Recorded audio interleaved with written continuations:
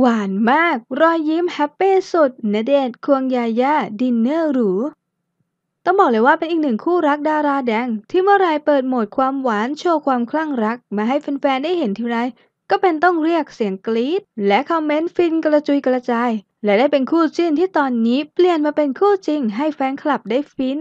และติดตามกันต่อแบบยาวๆสำหรับคู่รักพระนางซุปตาร์อย่างณเดชน์และญาญ่าซึ่งในตอนนี้ทั้งคู่ก็เข้าผ่าดูใจกันมาเป็นเวลาหลายปี แถมตอนนี้ยังรอลุ้นข่าวดีเรื่องการแต่งงานด้วย โดยล่าสุด 3 กันยายน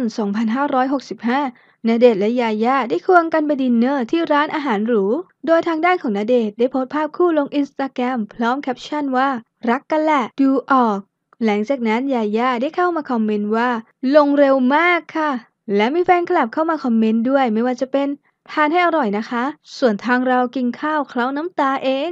น่ารัก รักมากด้วยรู้นะ รังสีความรักกระจายมาก